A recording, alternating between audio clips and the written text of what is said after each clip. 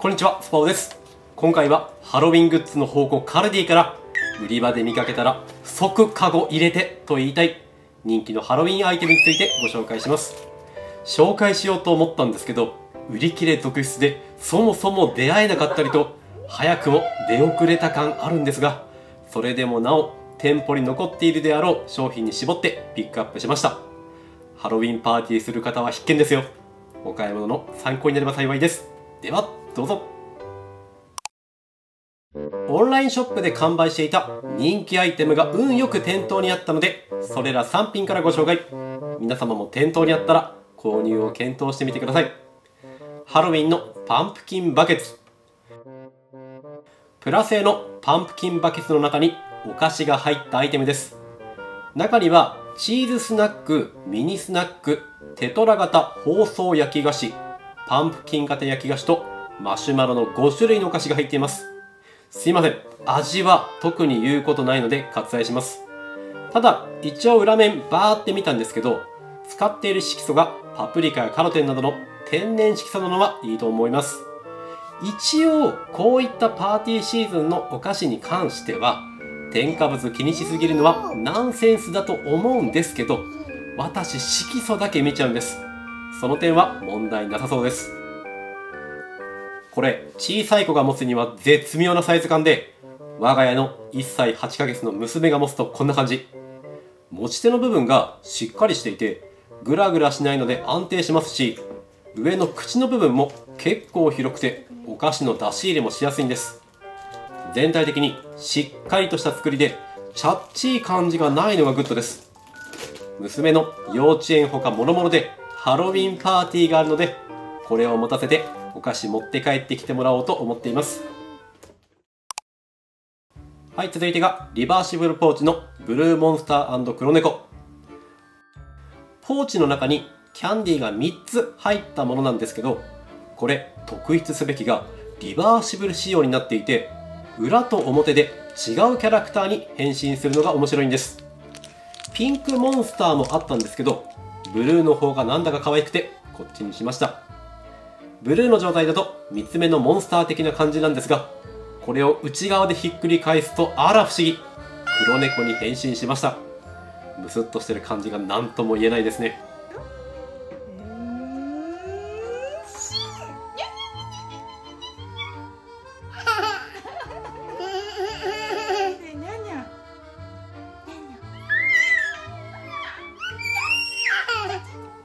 ポーチと言ってはいますがマジで飴玉3つぐらいしか入らないレベルのキッツキツ感なので収納性は期待しない方がいいです。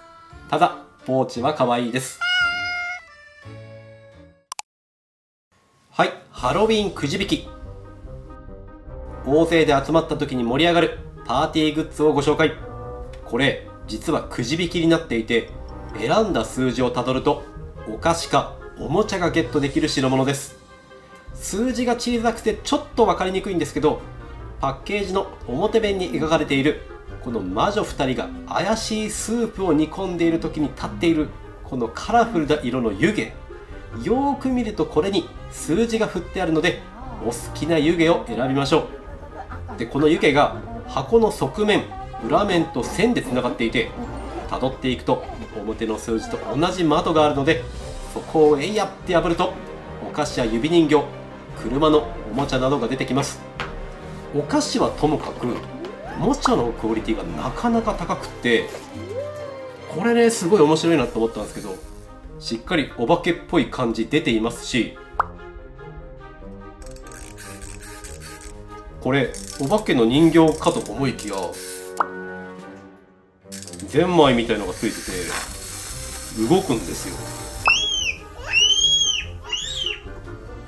なかなかクオリティ高くないですか？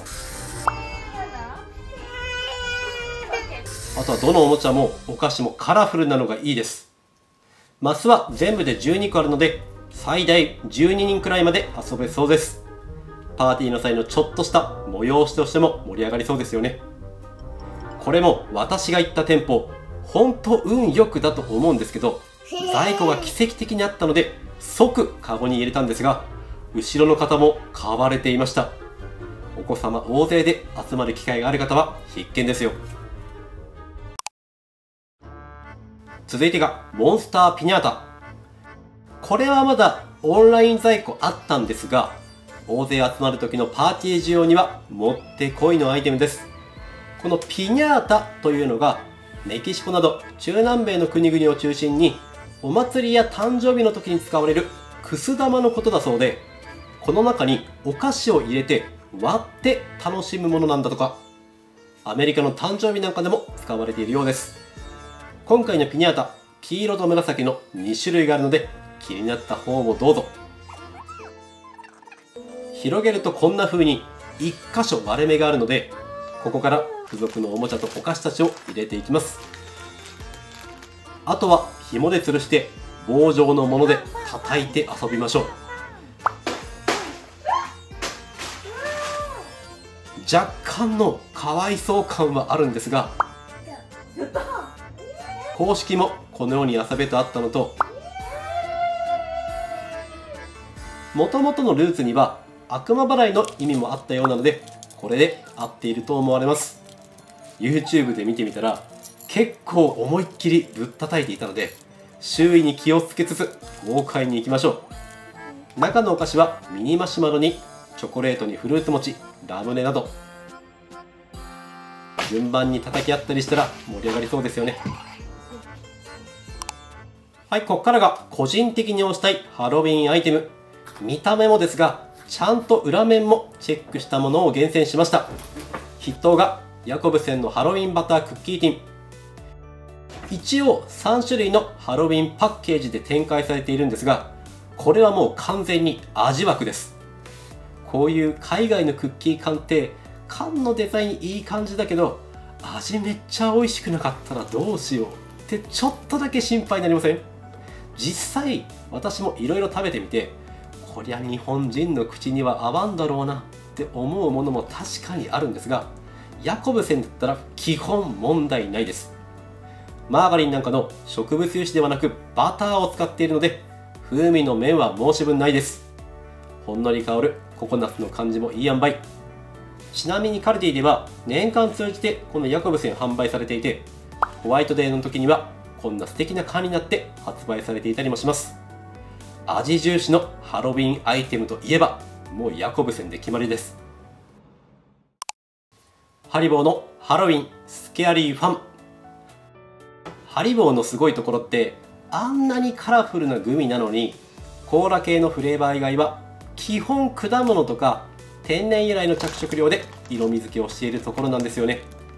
今回のハロウィン仕様のパックでは果汁に野菜ジュースフラボノイドスピルリナが使われています。あとよーく見てほしいんですけど一つ一つのデザインの型っていうんですかね。これがかなり細かいんです。こんなに小さいグミなのにかぼちゃやコウモリっていうのがはっきりと分かるのも楽しみの一つなんです。味的にはリンゴっぽいような甘酸っぱい感じもあってハリボーといえばなハードな噛み応えが心地よいです。中の小袋は紫青黄色の3色になっていてハリボーベアをベースとしたハロウィン仕様のデザインになっています。これは迷ったらこれなこの時期のばらまき枠のお菓子でしょう。オンラインでは在庫完売していたので気になる方はどうぞお早めに。続いてグミをもう一つ。ティースグミです。ティースは歯を意味する英語で厳密には1本以上の歯のことを指すらしいんですが歯というより入れ歯のような歯茎付きの歯を模したグミが発売されました。今回のカルディハロウィンではウェブページなんかでも比較的目立つ場所で紹介されていたのでおそらくそれなりに推しのはず。ネタ枠かと思いきや味はベリー系の甘酸っぱい感じが美味しくって歯茎に使っている着色もアントシアニンと天然色素なのもグッド。結構誤解されがちなソルビトールについて一応触れておくと結論気にしなくて OK と言っておきます。まあ割愛しながらにはなりますが天然の糖アルコールの一種で食品の水分保持や微生物の繁殖防止甘み付けが主な用途で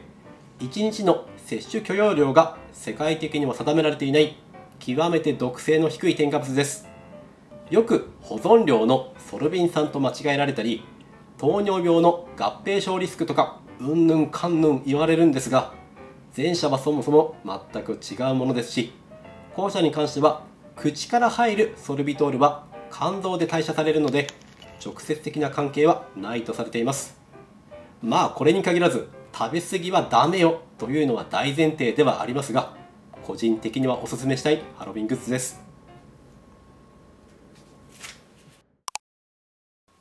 ベルメーレンのカラメルビスケットハロウィン。これもどちらかというと味枠の商品でばらまき枠のお菓子でもあります。スペキュロスとも呼ばれるベルギー発のスパイスビスケットで秋になるとやけに美味しく感じる味なんです。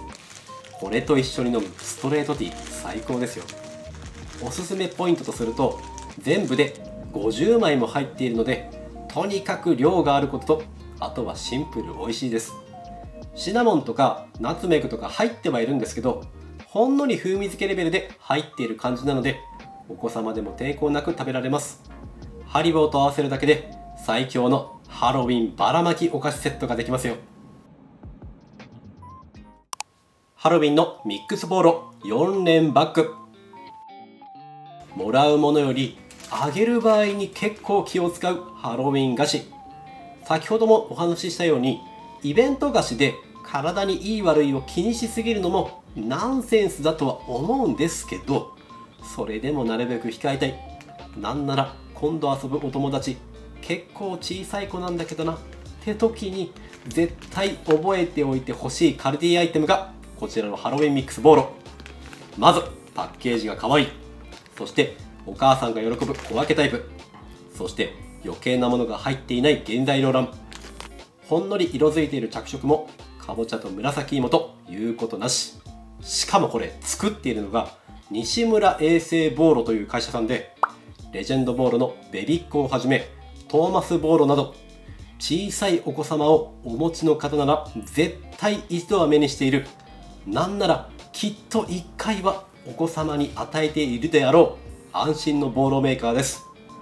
なのでもらった側も安心なんです。ハロウィンパーティーなんかでいろいろな年代のお子様特に12歳のお子様がいる場合にはこれ一つあるとめちゃめちゃ重宝します。これはおすすめしたいです。はい最後はこちら。ハロウィンのお化け綿菓子。